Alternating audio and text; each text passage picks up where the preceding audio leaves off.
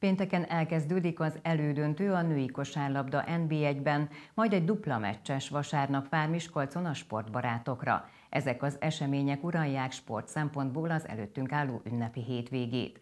A Győr vendégeként kezdi tehát pénteken a hosszú hétvégét a DVTK Hunterm, majd vasárnap már a Miskolci visszavágót teljesítik a csapatok, amit egy maratoni sportprogram keretében a DVTK Békés Csaba labdarúgó bajnoki után izgulhatnak végig az érdeklődők. Mind a két csapatban lesz hiányzó, hiszen légiós center poszton mind a két csapatban volt sérülés a Magyar Kupa döntőjében illetve nálunk még a Kányási Vera játék a kérdéses, hiszen... Ezek természetesen kiemelt jelentőségű információk minden mérkőzés előtt, de különösen azok a szezon legfontosabb szakaszában. Ugyanis nagypénteken Győrben elkezdődik a két nyert mérkőzésig tartó bajnoki elődöntő a női kosárlabda NB1-ben.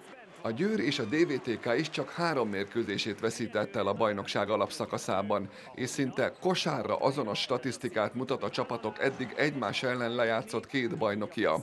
Ugyanakkor a Magyar Kupan bronzmérkőzésén kiütéses Miskolci siker született. Fokozza a párharc kiszámíthatatlanságát, hogy a győriek pályagondja miatt április 7-én pénteken az első, 9-én vasárnap a DVTK arénában pedig az elődöntő második mérkőzését teljesítik már a csapatok. Mint azt megtudtuk, a tervek készen állnak, most azok megvalósítása következik. A Győr rendkívül sok három pontos dobással próbálkozik, és ha ezeket hagyjuk, hogy üresek legyenek, akkor, akkor rettentesen nehéz őket megverni. Kicsit le kell lassítani a játékukat, hiszen két olyan irányító játékos van, aki nagyon kemény iramot diktál, és olyan bedobóik, akik bátran vállalkoznak külső dobásra a félindításokból. Ezt kell jól megszűrnünk, kötötelni játéka kényszeríteni őket, és akkor azt gondolom, hogy onnantól kezdve mi lehetünk a jobbak. Ahogyan azt az elmúlt év októberében tette Békés Csabán a DVTK, hasonlóképpen folytatnák ezúttal hazai pályán a piros-fehérek a két együttes bajnoki mérkőzésén. A Diósgyőri labdarúgók idegenben szerepelve győztek 2-1-re, és a listavezető saját stadionjában saját közönsége előtt egy újabb győzelem megszerzését célozza.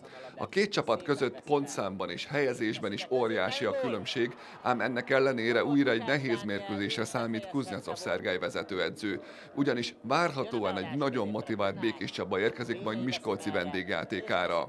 A DVTK-nak nagy hangsúlyt kell fektetnie a várhatóan saját kapuja elé tömörülő védelemmel szemben a helyzet kihasználásra.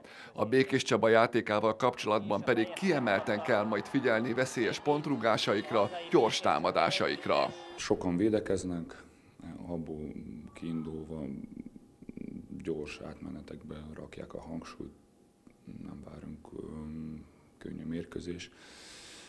Nyilván, hogy szok, ez sok, sok fog függni a mi játékunktól, hogy hogyan fogunk reagálni ezekre, hogyan tudjunk ezt lezárni ezeket az akciókat, és, és természetesen nekünk jobban kell játszani. Húsvét vasárnap tehát dupla meccses ünnepi program várja a Diósgyőrért szurkolókat, érdeklődőket. A DVTK stadionban ugyanis 16 óra 30-kor kezdődik a Békés Csaba elleni bajnoki találkozó, majd 18 óra 30-kor az arénában a DVTK Hunterm és a Győr kosárlabda bajnoki elődöntőjének második mérkőzését rendezik.